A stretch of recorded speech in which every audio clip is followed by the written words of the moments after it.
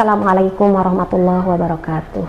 Alhamdulillahirobbilalamin. Kita berjumpa lagi di curhat bareng teh ini.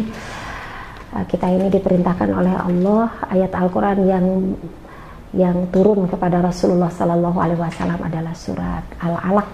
Iqra bismi rabbikal ladzi khalaq khalaqal insana min alaq. Iqra wa rabbukal akramul ladzi 'allama bil qalam 'allamal insana ma lam ya'lam. Kita diperintahkan oleh Allah untuk membaca. Membaca itu membaca ayat-ayat yang kauliah yang dibaca setiap hari. Di ayat-ayat Quran bisa juga ayat kauniyah. Ayat kauniyah itu dari kejadian. Ya termasuk curhat bareng teh ini ini kita bisa membaca dari pengalaman hidup seseorang. Baik itu saudara kita atau mungkin kita ya.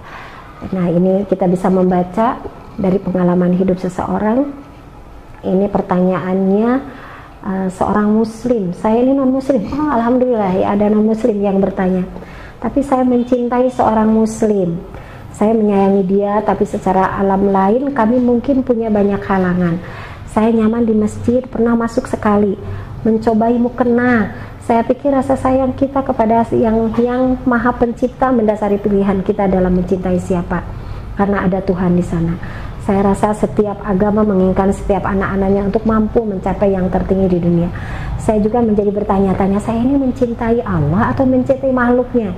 Saya kebingungan, saya berusaha mencari usaha tengah dalam menghadapi semua itu. Bagaimana menurut Teteh? Ini non muslim ya, terima kasih bisa bergabung. Uh, jadi subhanallah Allah menciptakan manusia semuanya dalam keadaan bertauhid. Ya. Tapi ketika sudah besar itu lingkungan lah yang uh, menjadikan seseorang Yahudi Nasrani. Ini bagi yang non Muslim ternyata mencintai seorang Muslim. Hakikatnya Allah yang menanamkan cinta di situ. Tapi siapa tahu ada hikmah. Mohon maaf kepada ini yang mencintai non Muslim kepada yang Muslim. Jadi kalau mencintai itu fitrah ya. Tetapi setelah itu kalau masuk ke pernikahan dilarang. Jadi kalau pernikahan dalam agama Islam harus Muslim semua Nah ini yang mencintainya ini yang non muslim cobalah minta kepada Tuhan sendiri ya minta kepada Tuhan ya Tuhan uh, aku mencintai uh, yang sudah muslim. Tunjukkan kepadaku mana kebenaran. Uh, di mana engkau siapa engkau? Nah jadi saya sebagai muslim ya muslimah tidak memaksa siapa pun untuk masuk Islam karena tidak boleh memaksa seseorang. Tapi silakan anda untuk bertanya langsung kepada Tuhan. Siapa sih Tuhan yang sebenarnya? Nanti kalau sudah itu nanti Allah tunjukkan siapa Tuhan yang sebenarnya.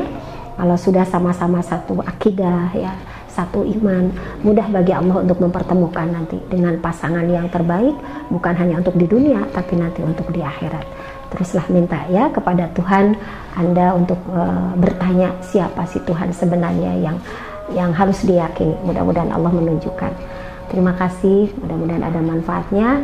Alhamdulillah kita bertemu lagi di acara Fans Teh ini Mutmainah di yang akan datang. Assalamualaikum warahmatullahi wabarakatuh.